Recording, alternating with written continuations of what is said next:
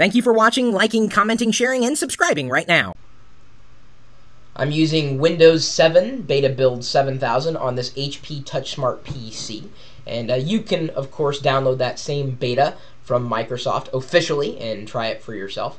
I wanted to demonstrate uh, uh, one of the more interesting upgrades that uh, Microsoft has applied in terms of window management inside of Windows 7. So I'm going to open up, uh, or try to open up, an Explorer window. Of course, I can open up, let's say, an Internet Explorer window as well. So there I've got IE8 running here and I've got uh, a Windows Explorer window running here. Now, this is a, a, pretty large resolution that I have on this HP TouchSmart, but let's say uh, your screen resolution is rather small and you want to uh, have both Internet Explorer and a Windows Explorer running side by side. It's kind of tricky to get uh, them both optimized to take up just part of the screen. You know what I'm talking about? Well, here's what you can do inside of Windows 7. Grab one of the windows, and let's say I want to kind of uh, make it take up this half of the screen, the left half. I just drag and drop it over to the left-hand side until a, a window uh, skeleton appears. Uh, and then I drag and drop the other window over to the right side until a skeleton appears, and I let go of each.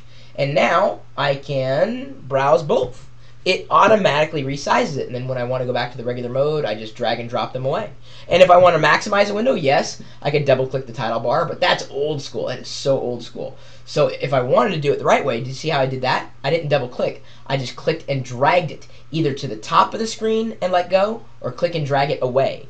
And it works with any window. Click, drag up, let go, click, drag down, let go.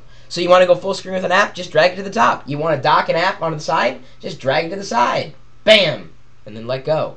So convenient, so easy, and yeah, I gotta admit, that's kind of fun. Uh, when I press the maximize button um, inside of the uh, of the uh, the regular Explorer window, of course it goes full screen, but then I can just drag away, and uh, then I'm no longer full screen.